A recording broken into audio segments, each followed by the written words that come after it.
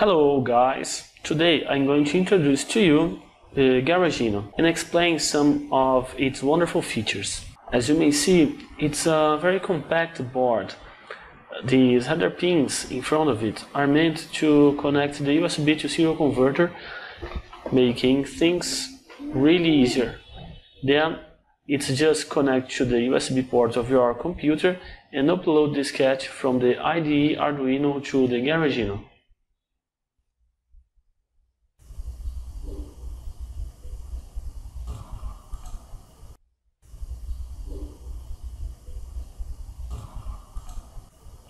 Why we've made it like this?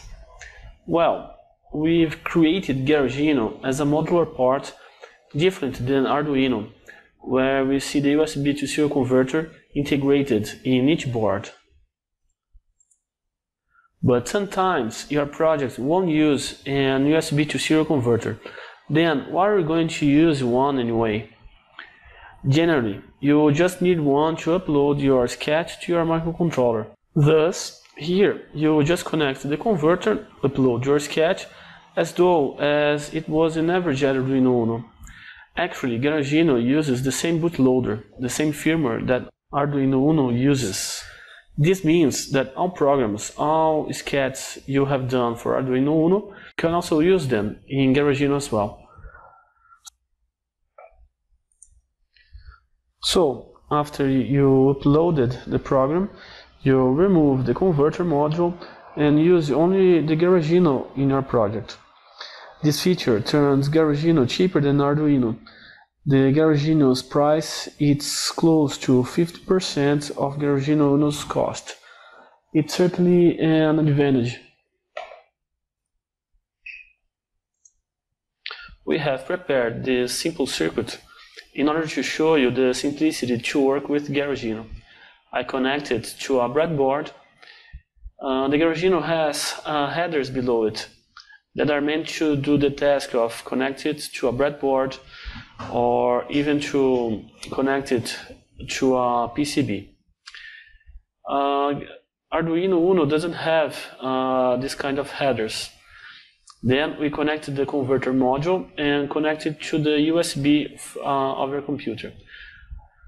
Uh, this code will override the brightness of the LED by taking the analog read from the potentiometer.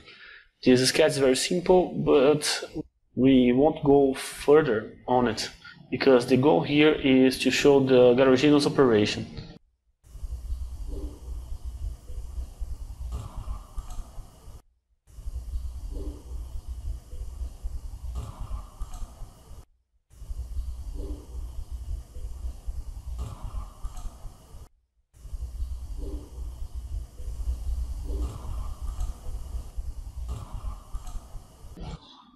But wait, this project does not use an USB to serial converter module. Don't worry, I'll take off the converter and the power supply of my project will power Garagino, in this case, two AA batteries.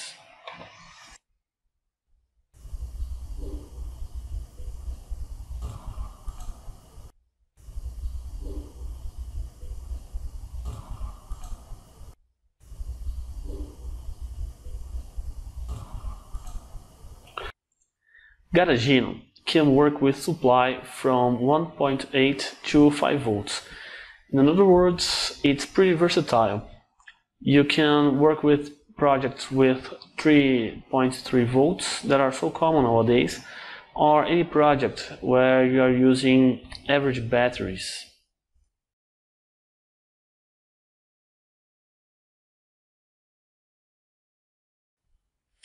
Here, you see the same circuit soldered on a PCB. That's one of the best features when thinking modularly. As we mentioned before, Garagino possesses headers below it that can be used to solder directly to a PCB, making it suitable for prototyping or even to use in our final project. Here, it's being powered by the USB to serial converter module, but if you are using a different power supply in your board and want to isolate this, this supply from the USB supply, you just have to take off this jumper. uh, that removes the supply coming from the USB to serial converter module, protecting the USB port of your computer and avoiding any other problems.